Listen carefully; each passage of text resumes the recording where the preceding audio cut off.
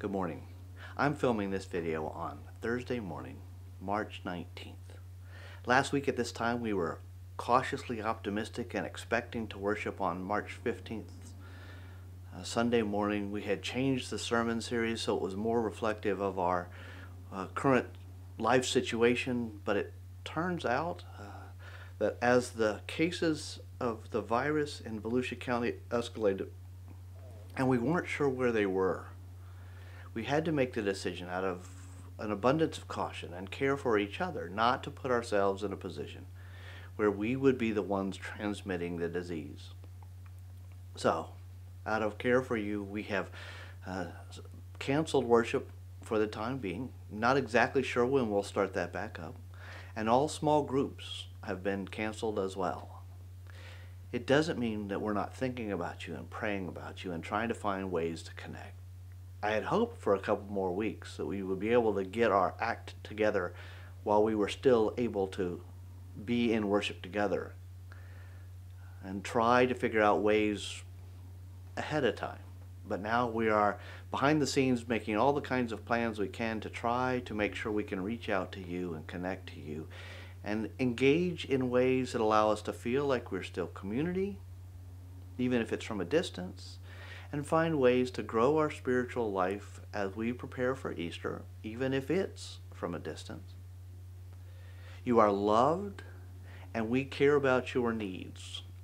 We're going to make some videos each week. We're going to try to make a bunch of phone calls each week. We're going to recommend that small groups reach out to each other. But if you've got needs that you uh, can't figure out how to meet, and maybe our church community can help, let us know. Call the church office We'll put the number in the description below. We'll also have places and links so you can uh, connect in different kinds of ways. Uh, if you've not engaged us on our Facebook page, that's probably a good idea. We'll put a link for that below.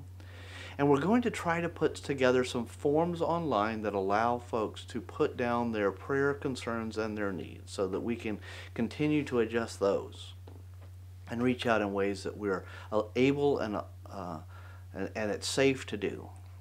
You should know that the church office, the staff's still coming in, but we've kind of put it on lockdown in hopes of making sure that we don't have to, to go around sanitizing nonstop.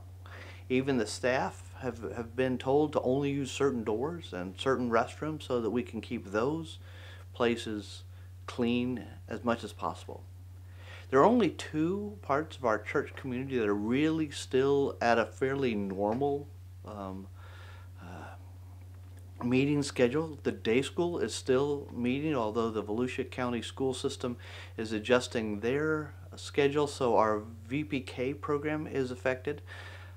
But we wanted to make sure that those families that had parents that needed to have child care so that they could do their jobs were not put in a place where their financial position for the next few months is affected because we closed the daycare.